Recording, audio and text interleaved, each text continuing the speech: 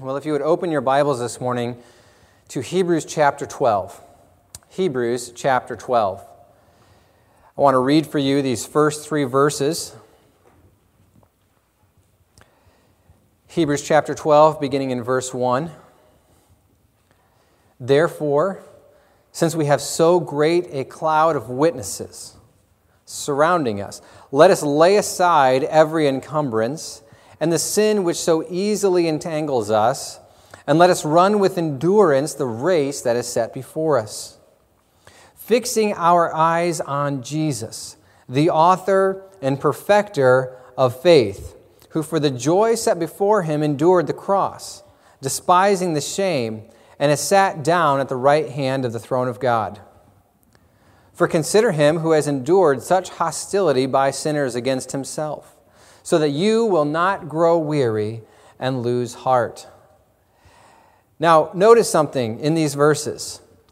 The author is asking you all to do something that I know only a couple people in this auditorium like to do that is run races. I know of, I know of one person in particular, my wife, who can be convinced to run a race with her friend, with her friends. I know another person in this auditorium who, who does enjoy the struggle and the agony of running races. I myself enjoy running races because it's always a, a competition against yourself to see if you have improved, to see if all the work that you have put in has, has gotten you somewhere. And then one time, somebody in our church texted me a proverb in a jest. And they say, A fool runs, only a fool runs when nobody is chasing them thought to myself, okay, now I see the general perspective on running. That may be the general perspective on physically running, but the author of Hebrews is challenging every person who wants to live for Christ to be engaged in running a race. That is the main point of these particular verses. And the author of Hebrews is writing to an audience who was on the fence about whether they wanted to be Christians or not. The author of Hebrew was communicating with people who weren't sure whether they wanted to continue following Christ or whether they wanted to go back and live as Jews and perform the Judaistic practices and traditions that they grew up with. And as you read through the book of Hebrews, you find that the author of Hebrews compares every single aspect of Judaism to Christ, and he concludes that Christ is far better. Christ is far greater. Christ is a greater sustainer. Christ is a greater example. Christ is a greater high priest. Christ is a greater sacrifice. And so here, after going through all the ways that Christ is better than the Mosaic Law covenant and what was established uh, in the book of Exodus for God's people. After going through all of that, the author of Hebrews in, ver, in chapter 11 communicates that there is a cloud of witnesses who have gone before you and they endured many serious trials, and you yourself should be willing to endure serious trials because of your faith. And so when we get to chapter 12, verse 1, the author of Hebrews says, Therefore, because of all that I've taught you, and because of all these others who have gone before you, you, you, dear reader, have a responsibility to lay aside every encumbrance and the sin that so easily entangles us, and to run with endurance the race that is set before you. And so, if I was going to summarize this particular passage, I would summarize it with a question. And it's a question I want you to write down this morning. It's a question that you must answer for yourself. I can't answer it for you, and your friend can't answer it for you. And even though when we run physically, we often run with our friends because it's good motivation, this race you run by yourself, in a sense. And I'll explain that in a moment. But this race you run by yourself. It's you and Jesus. And here's the question that the author of Hebrews wants you to answer Are you committed to running the race of faith? Are you committed to running the race of faith? Now, I don't care whether you've ever run in your life or not. That's not the type of running we're talking about here. The race of faith is a phrase that describes the journey that God, God Himself, has elected us to and has called us to complete. Let me read to you from Romans chapter 8, verse 29. Paul is writing to the church, and he says this about God For those whom He foreknew, He also predestined to become conformed to the image of His Son so that he would be the firstborn among many brethren. And these whom he predestined, he also called. And these whom he called, he also justified. And these whom he justified, he also glorified. You didn't ask to be invited to the race of faith, God did it for you. You didn't sign up to run this race, God signed you up. From before the foundation of the world, God knew who you were. And God predestined you to become conformed to the image of His Son. So whether you like it or not, you're in the race if you're God's child. You have a responsibility. And I think that the terminology or the term race, which is used here in Hebrews chapter 12 to describe the Christian life, and also in 1 Corinthians chapter 9 to describe the Christian life, the word race is a, is a really excellent term because it communicates a lot of truths at the same time. And let me explain these things to you. First, a race is a specific event. So every year, uh, my wife and I and Rebecca Holland and a couple other people, we sign up to run a 5K race that happens in Lindsey, Ohio. 5K is, is 3.1 miles. All right? That's a specific event that we sign up to run. We seek it out, we run that race. Well, the race of faith is a specific event too. And the fact of the matter is, there's only two types of races that you can be on in life. Jesus said there's a road or a path that is broad, and the gate is wide, and that race leads to destruction. But there is another road, there is another path that is narrow the gate is narrow. And those who are on that path, the road leads to eternal life. So there's only two specific events that you could be a part of. And if God has chosen you to be a part of this event, then you are in the event. You're in the event. Now, the word race also implies that there is a goal or a prize at the end of the event. I have received uh, numerous uh, awards for being first or second in my age group, but then I'm like the only guy who's in my age group in these races. Okay, it's not because I'm a fast runner, it's because I'm the only one. But the fact of the matter is, in the race of faith, there is a goal or a prize. There is a crown that you will receive for running well. Paul talks about that in 2 Timothy chapter 4 when he says to Timothy, I've completed my course and laid out for me, I'm about to receive the crown of glory for running the course well. So, race is a specific event. Race implies that there is a goal or a prize. And then when you participate in a race, it is serious and it requires your focus and your devotion and your self discipline. Look, I like to run for exercise because I have a job that is a sit down job. Running helps keep me healthy. But when I sign up for a race, my running goes to a different level. It becomes much more serious, much more focused. And I train for that specific event that I sign up for. And so, my friends, if you are in the race of faith, you have to be focused.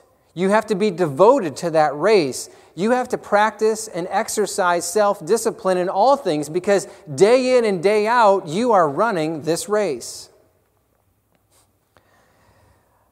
The word race also communicates more than just a jog. Okay? I go out for a jog, I go out for a run.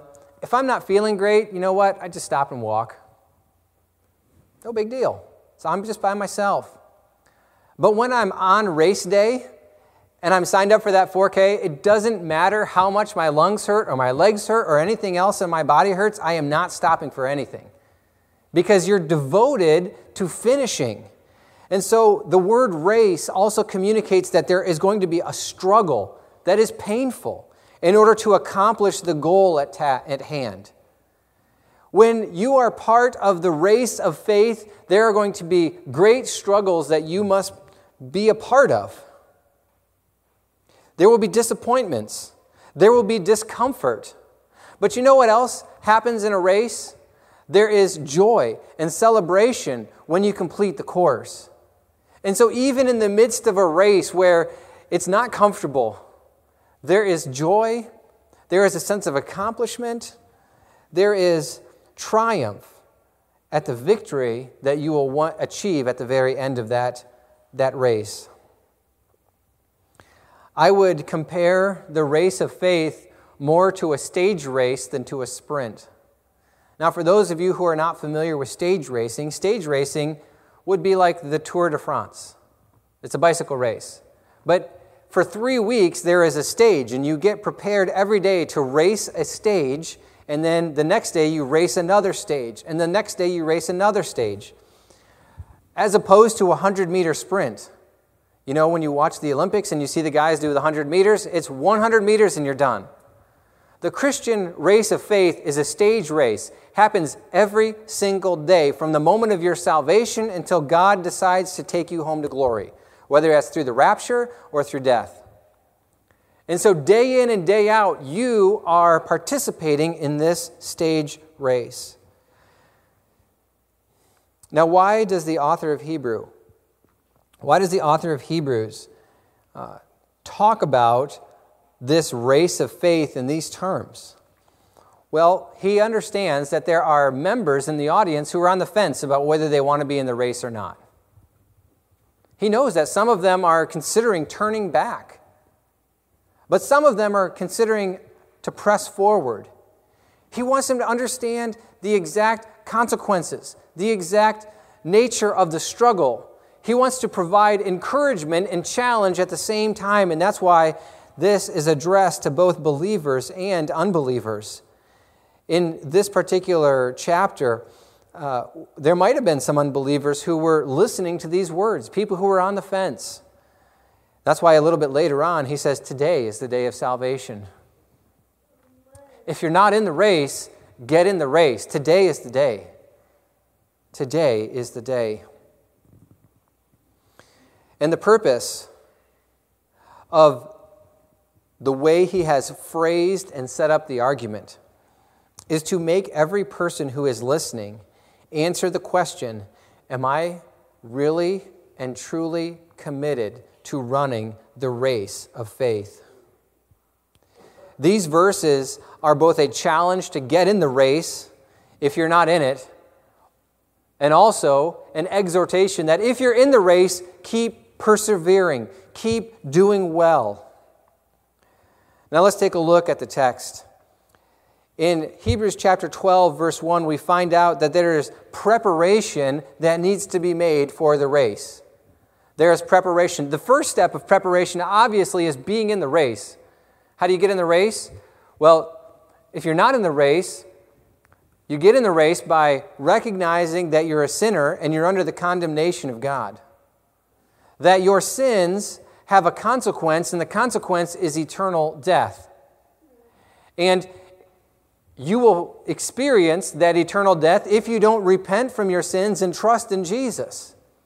Again, the whole point of the book of Hebrews Jesus is better than everything. He's better than the Mosaic law, He's better than works, He's better than your own uh, personal moral standards. Jesus is it, and He is the one perfect, true sacrifice. And so, if you're not in the race, you need to decide to get in the race by repenting of your sins and putting your faith and trust in Jesus Christ. Again, I will say it.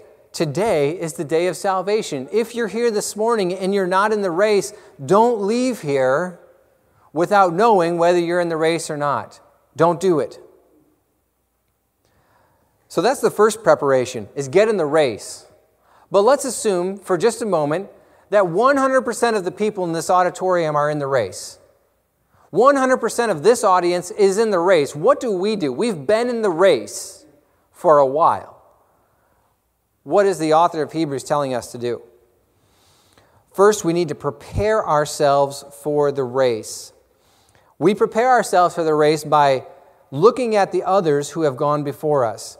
In Hebrews chapter 12, verse 1, there is a cloud of witnesses who is referenced by the author. This cloud of witnesses is all the faithful men and women that you have known before. And here in Hebrews chapter 11, it is faithful men and women whose stories we find out about in the Old Testament. But it doesn't have to be just those people. you can think about people in your life who ran the race of faith well and finished well. You should look to their example. Consider their example. Don't quit. Because what you're facing right now is probably not worse than what these other people have faced. And that's true as the author of Hebrews describes some of the persecutions faced by men and women of old. Verse 37 of Hebrews chapter 11 says this They were stoned, they were sawn in two, they were tempted, they were put to death with the sword. They went about in sheepskins, in goatskins, being destitute, afflicted, ill treated, men whom the world was not worthy. They wandered in deserts and mountains and caves and holes in the ground. Well, that doesn't sound too attractive. But that's the price of being in the race. That's part of the struggle. And if those people who went before us could endure the struggle, then you, my friends, you can endure the struggle. So we are to look at the witnesses who have gone before us. That is to encourage our hearts. The second preparation that we make in the race of faith is to lighten our load and to prepare to run. Now, when I run, I definitely do not run in a sport coat and a tie. I do not, I mean, if I had to, I would. And it looks great in the movies. But let me tell you what, it is very uncomfortable after about 50 yards. Okay? So when I go to run, I try to put on the clothing that is that makes it as easy as possible for me to move my body. All right? It's lightweight, it's breathable, so I don't get overheated. It, it's specially designed for running. And in the same way, if you're going to run the ways of faith, you need to prepare yourself. And you need to take off, here's what the author says take off every encumbrance and the sin which so easily entangles you. There's a, the metaphor here is when you get ready to run a race, you don't run in heavy clothing, you take off those encumbrances. What does that mean in the spiritual life, though? What does that mean in the spiritual realm? Well, I think the author of Hebrews is referring to two distinct things here. Every encumbrance is a reference, every encumbrance is a reference to those things which are not necessarily sinful, but which prevent you from running your race well. And then the second half of that is the sin which so easily entangles. So he is making a reference to sin. Sin hinders your race of faith, but he's also making a reference to encumbrances. These are any impediments, impediments that get in the way of running well. I don't think they're sins. I think they're various aspects of life that take your focus off the race. Let me give you some examples of encumbrances. Work. Work is an encumbrance. It's necessary, but it can also be an encumbrance. It can distract you from the race of faith. Our material possessions can be an encumbrance to us. I remember uh, when I first moved to Ohio 17 years ago, everything I owned fit into a Honda Civic. And man, life was a lot simpler because you could pick up and go wherever you wanted to. I didn't have to spend a lot of time doing maintenance or chores. But now that I have a house and four children and two automobiles, man, my material possessions that I just need to survive require a lot of time and attention to maintain. You can allow your material possessions to be an encumbrance to your race of faith. They're good to have, they're not sinful, but they can become an encumbrance to the race of faith. So think about that when you're getting ready to uh, own various things or make various purchases, what is the time commitment that this material possession is going to require from me? Another example of encumbrances are personal dreams or hopes or goals that don't necessarily align with the Great Commission. We can have personal dreams. That's not bad. We can have personal goals. That's not bad. But when those personal dreams and personal goals get in the way of our running the race of faith, we need to reprioritize. We need to set those things aside so that our race of faith is not encumbered by those personal dreams and goals. Finally, something that you may not even consider family and family life and family obligations can be an encumbrance to running the race of faith. Look, this is so true. You all know this. Your family is one of the biggest blessings God has given you, and it's also one of the biggest challenges to navigate. Why? Jesus says you have to love me more than you love father or mother, sister or brother. That is not always an easy task, especially when your family is encouraging you to do sinful things, or when your family themselves have decided to commit sinful actions and you have to turn away from your family. You have to make a choice. Do I serve Jesus or do I maintain my family ties? These are all examples of encumbrances, and we could probably Go around this room and find many more. The author of Hebrews commands us to lay aside these encumbrances. We need to put them off of us. Just like I would take off my coat and tie if I was going to go run. But then he gets to a deeper issue put off the sin which so easily entangles.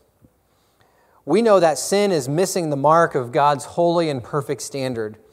And so, if you are going to run well, you cannot be encumbered by sin.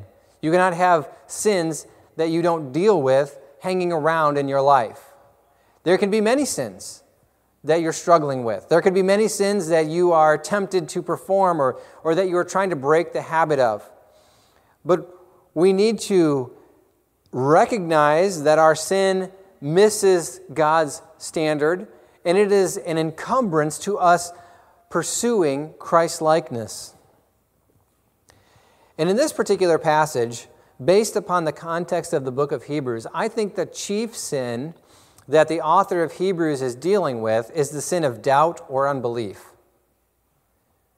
Right? Because the temptation for these people was to turn away from Christ and turn back to their old lifestyle. And so what? They were doubting God. They were doubting Jesus. They were doubting God's promises.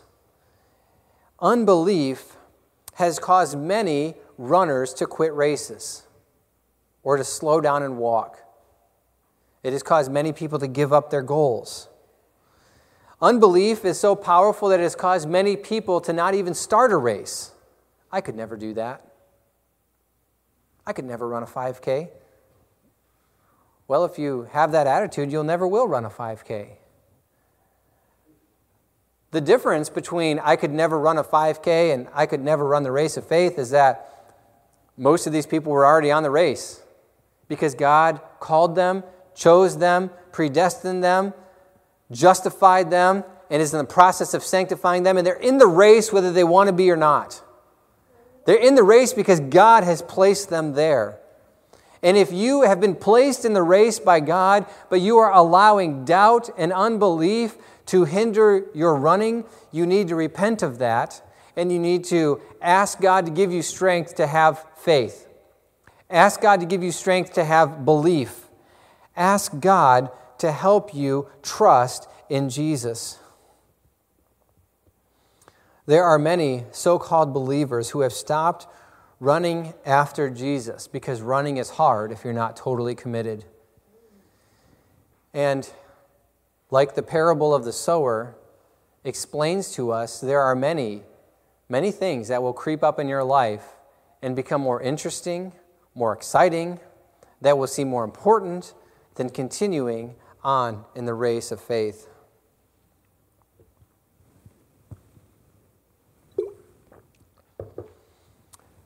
So you need to lighten your load and you need to prepare to run.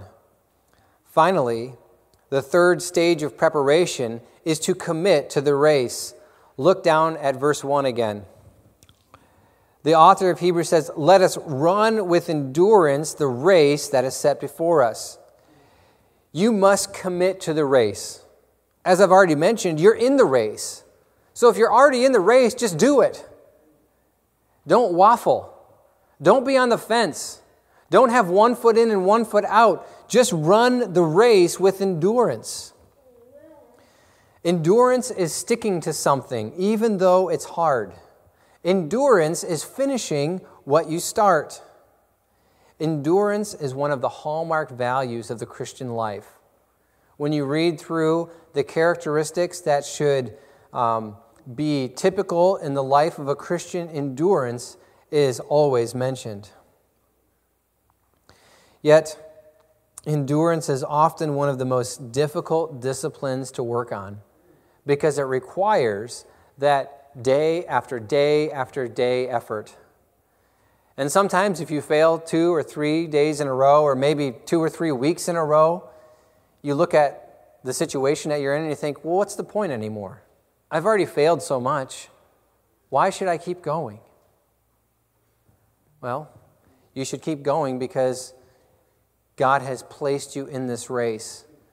And one week of failure, or one month of failure, or one even year of failure is not enough to disqualify you from the race. It's not enough to allow you to say, Well, I'm kind of tired of this. I'm, I'm going to check out now. Dr. MacArthur says this about running the race with endurance. Many Christians could hardly be described as running the race at all. Some are merely jogging, some are walking slowly, and some are sitting or even lying down. Yet the biblical standard for holy living is a race, not a morning devotional. Race is the Greek word agon, from which we get agony. A race is not a thing of passive luxury, but it is demanding. It is sometimes grueling and agonizing, and it requires our utmost in self discipline, in determination, and in perseverance. Look, maybe you're here this morning, friend, and you're like, wow, I, have checked out of the race. Well, this is your encouragement from the Holy Spirit to check back in. Get back into the race. Start running again. Start again. And here's what's interesting this is an open ended race. Unlike a 5K or a 10K or a marathon that has a defined distance, you are to run the race that is set before you. We don't know how long that is going to be. You don't know how many days that you will have on this earth to make an impact for the kingdom of God. But while you are on this earth and while you are in the race, you have the opportunity to make an impact that lasts for eternity on the kingdom of God. So we may have tomorrow, we may have 10 years, we may have 40 years. It is an indeterminate amount of time, only known by God Himself. But you run the race that is set before you. I can't run your race, and you can't run my race. I need to run the race that is set before me. Your race will last as long as you last. Whether God gives you 20 more years or 20 more days. That's why it's imperative that you do the best that you can day after day after day to run the race. Because once the race is over, there's no opportunities to go back and do differently. That's it. It's over. It's done. I've thought about that in my own races. You know, if I would have done X differently, I could have shaved 20 seconds off. Maybe I should have started sprinting a little bit earlier. Hindsight is 2020. But in this race, you don't have the opportunity to evaluate your performance and then redo it again after it's all said and over. No, in this race, You have a responsibility to do your best day in and day out because once the race is over, the race is done. Now, this seems very hard and challenging. There's a lot of preparation that needs to be done for an open ended race. And the author of Hebrews understands and knows that what he's asking the readers to do is difficult. And so, in the very next verse, Hebrews chapter 12, verse 2, he gives them some encouragement. He wants to point to the inspiration for the race. Hebrews chapter 12, verse 2, the inspiration for the race.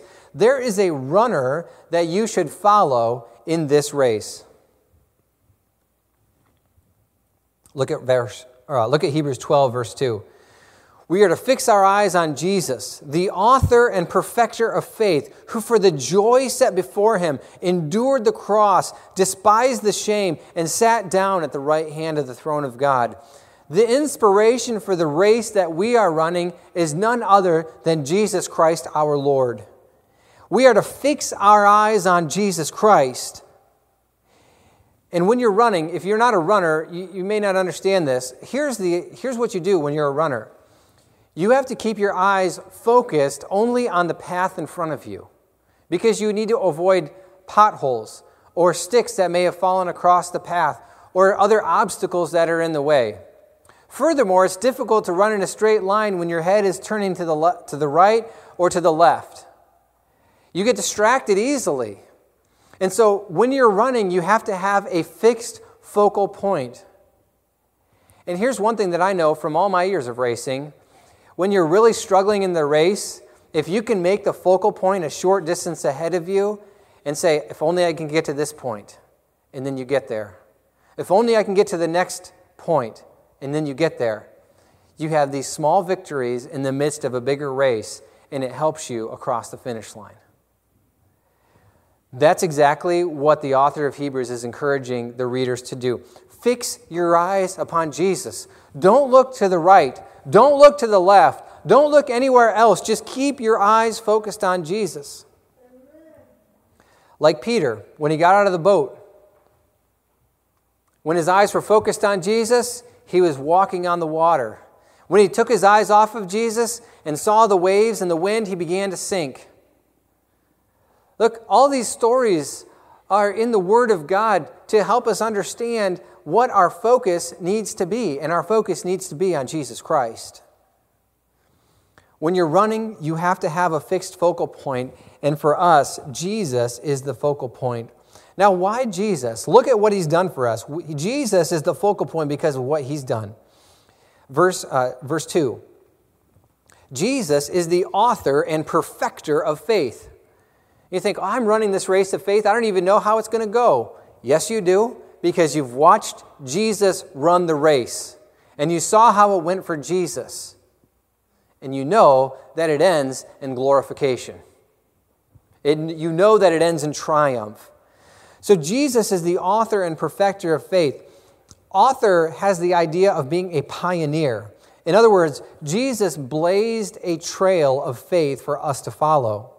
And he is the perfecter of faith because he showed that it's possible to be faithful to the very end until the course is completed.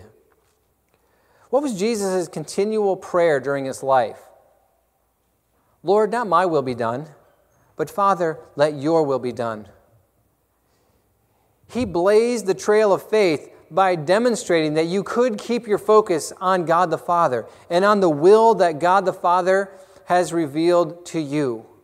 And we all have an advantage even over Jesus, because we have the Word of God completed in our laps, in our tablets, in our smartphones. We have it easily accessible. And so there should be no doubt as to what the will of God is for our lives.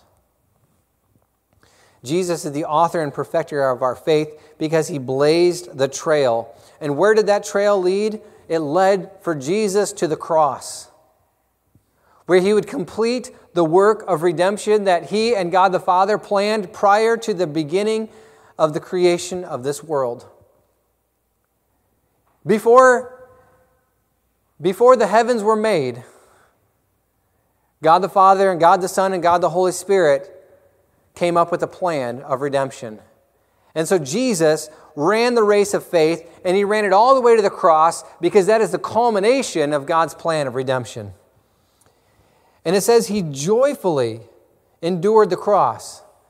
That doesn't mean the cross was fun, but it means that Jesus understood that his suffering on the cross would bring great joy.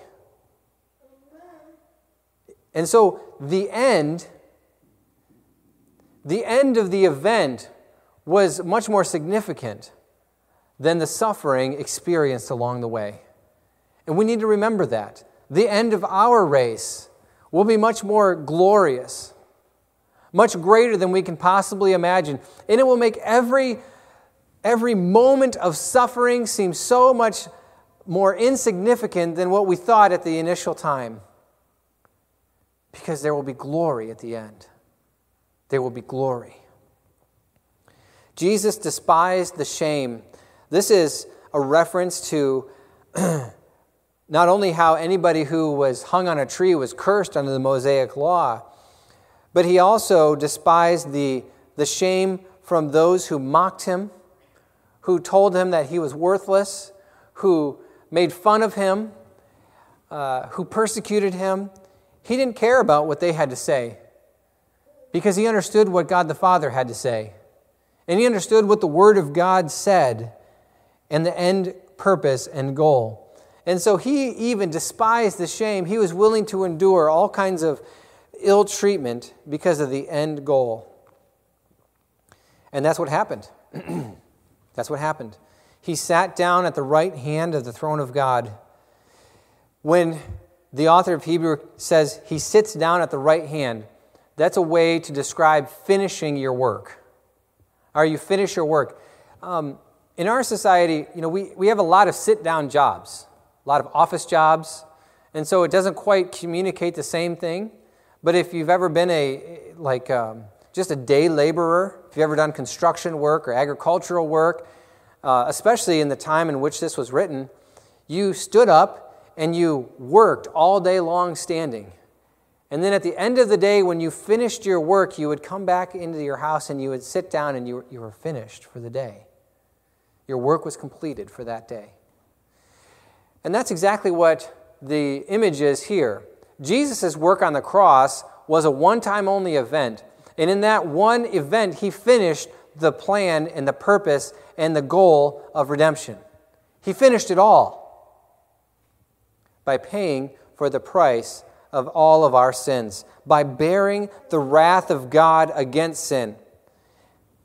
And so, after God raised him from the dead, and then Jesus appeared to his disciples for those 40 days. And when he ascended into heaven, he sat down because the work that he set out to do was finished. Jesus made it to the end of his race. You will make it to the end of your race.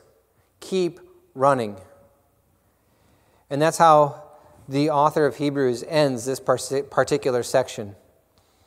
He wants you to prepare for the race he gives you the inspiration for the race, which is to keep your eyes fixed on Jesus, and then he wants you to persevere in the race.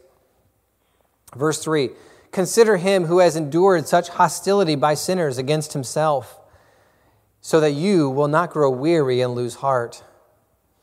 When you get tired, when the race seems overwhelming, when it seems like the suffering is more than you can endure or bear, you are to consider Jesus.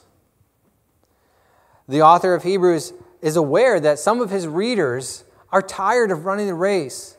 They're ready to give up. But he says, you know what? Don't give up. Consider Jesus. Why? Jesus endured great hostility by sinners against himself. Think about it. Satan himself came to Jesus to try to get Jesus to deviate from God's plan. The Pharisees mocked Jesus at every single turn. Jesus' own brothers and sisters didn't believe that he was the Son of God. Everywhere Jesus turned, there was opposition to him.